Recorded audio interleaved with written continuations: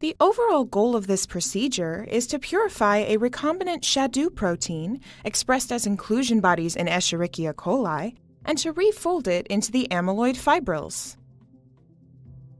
This method can help answer key questions in the field of molecular mechanisms of protein conformational disorders, such as those occurring in prion diseases. The main advantage of this technique is that it allows the production of a large amounts of protein in a rapid and low-cost manner.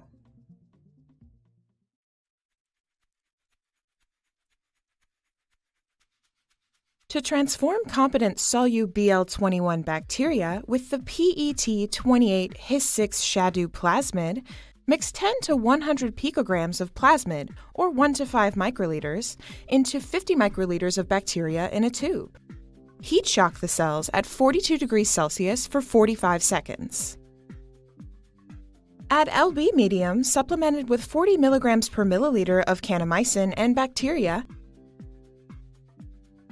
and culture the transformed bacteria at 37 degrees Celsius until they reach an absorbance of 0.5 to 0.7 at 600 nanometers. Induce SHA-2 expression by adding 240 micrograms per milliliter of IPTG and culture the bacteria at 37 degrees Celsius and 150 RPM overnight. To purify the protein, Transfer the bacterial suspension into centrifuge tubes and spin at 2500 times G and 4 degrees Celsius for 20 minutes.